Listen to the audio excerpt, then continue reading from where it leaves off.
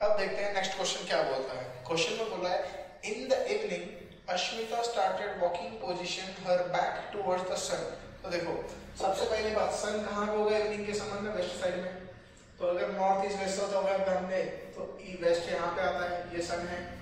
ठीक? और उनका वॉकिंग पोजीशन कैसा है? उनका बैक सन की तरफ़ है। And she is walking facing towards east मतलब ईस्ट की तरफ़।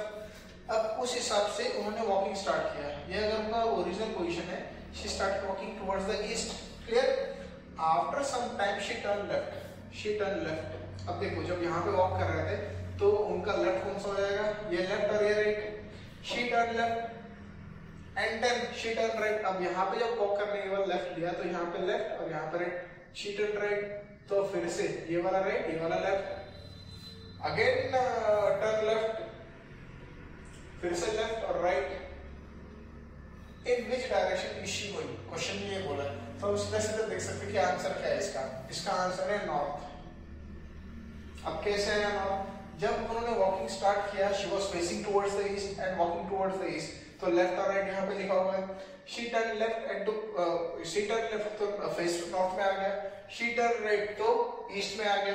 अगेन लेफ़्ट तो फाइनल इनका डायरेक्शन कौन सा था? नॉर्थ तो ये रहा इसका सोल्यूशन